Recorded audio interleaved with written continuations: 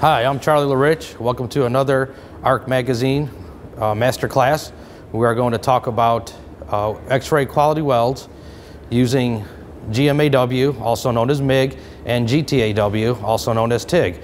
We're going to be talking about aluminum, and specifically we're going to talk about uh, porosity in our welds. When I get my aluminum, I want to make sure that I clean off the oil and grease first. Then I'm going to take a stainless steel wire brush, and this is only going to be for aluminum only, that's it. That oxide layer, by the way, melts at around 3,700 degrees, and your aluminum underneath that actually melts at 1220. So we're going to do a lap weld here. Just give it a quick little, knock that oxide layer off real quick. So I'm about 45 degrees into here. I have about a 20 degree push.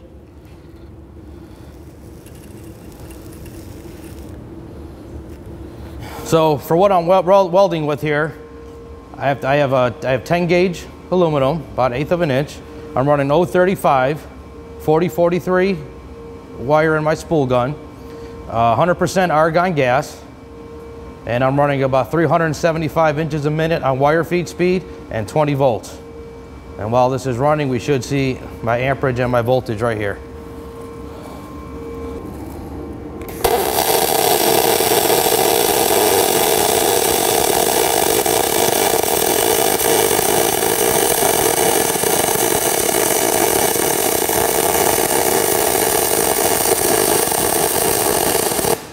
So here's the plate finished and here's and uh, the x-ray, you can see here, we're at the start of the weld and the end of the weld.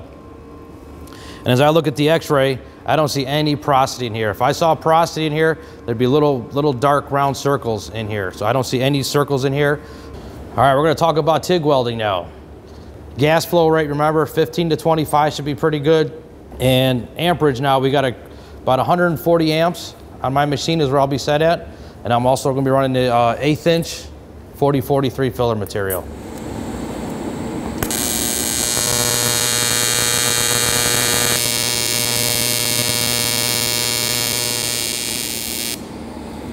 As you can see again, I got the start here and the end of the crater here.